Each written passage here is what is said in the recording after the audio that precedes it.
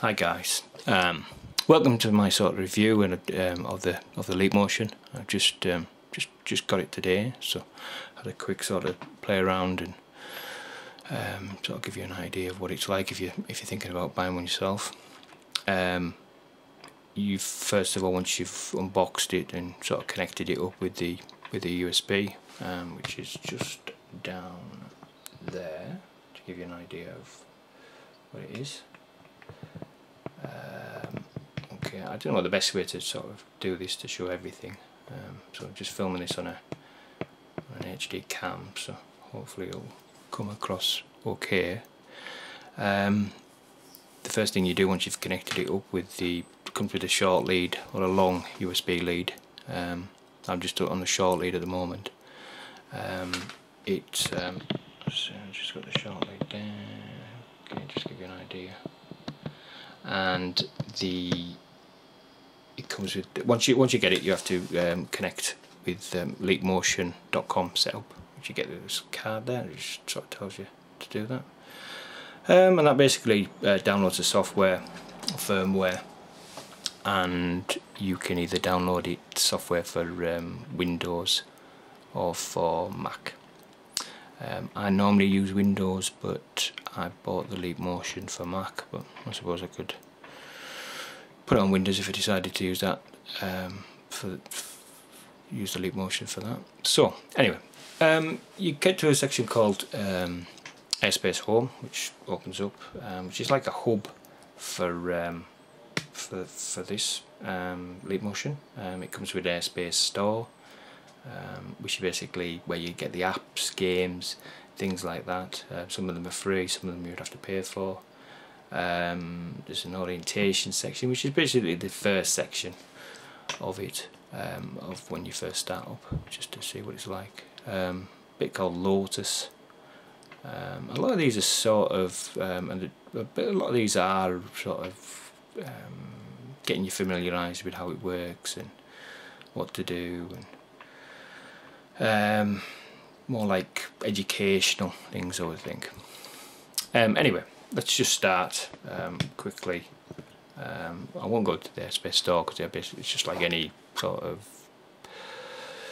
app store, um, similar sort of layouts and things. Um, the orientation bit, this is basically sort of starting off. Um, and this just give you an idea of how it um, works. So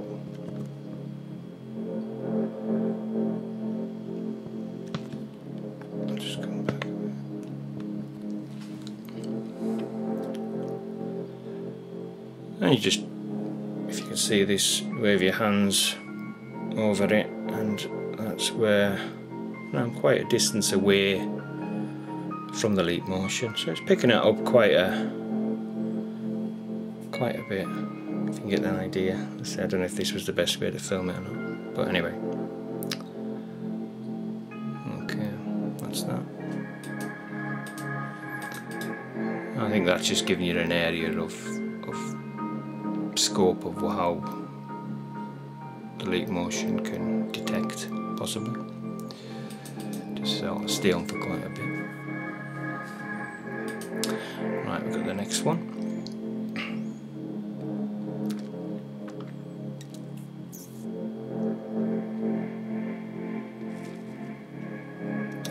Okay similar sort of thing again.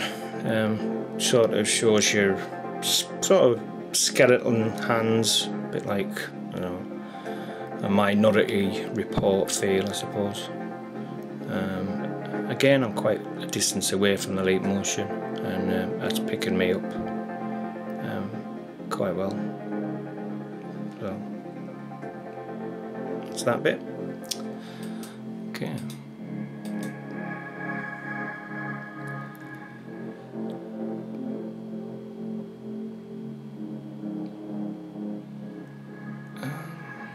This is sort of like a drawing thing. You move your finger towards it. I'm a lot nearer to the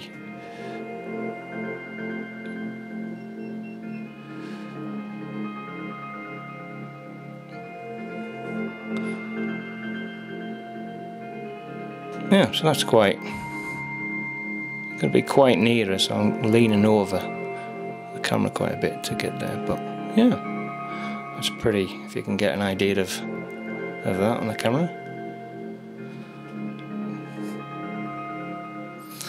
so it's pretty good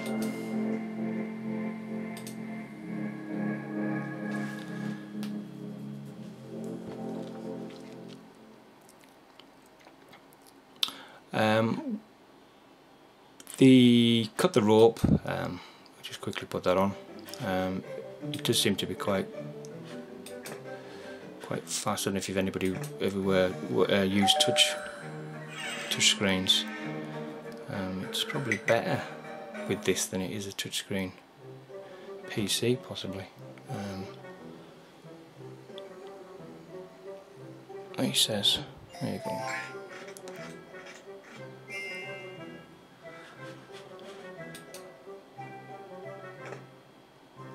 so I'm not going to do it forever, I'll just there. Uh, so that's quite an that's quite good that.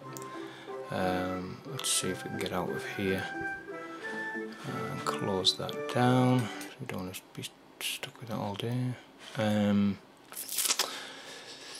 the molecules bond is more like a training, it sort of shows you that's like a, a DNA um, and you can sort of move it around and you know move it back and forward and whatever you want to do with it. So there's a lot of different options on there.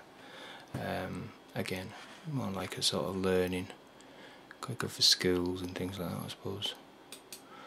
Um, and this one here because some of them this one here I just downloaded um, from the Airspace store.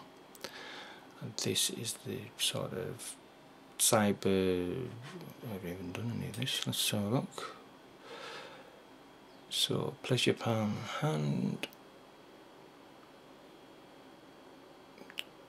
to stop navigate close your fingers in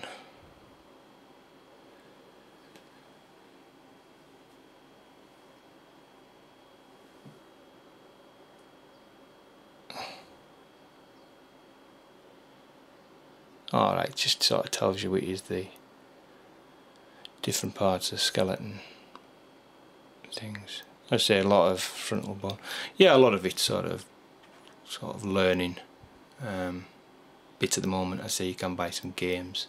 Don't know what it's like for browsing if you can if you can do that as yet. Um, but generally, it's it's it's pretty. Yeah, it seems pretty good. Um, but obviously, make up your own mind. So this is just a you know, it's a quick sort of overview of what it was like, um, but it seems to be quite quite responsive, um, probably better than the Kinect, and um, you know, it could be could be quite you know better than the sort of touch screens and things like that that we've uh, got at the moment. So, yeah, maybe um, maybe worth investing if you've been thinking about it and just don't know exactly um, what it's like. But yeah, I'd say maybe maybe maybe you could um, try it out and see what it's like. Okay, that's it. Thank you.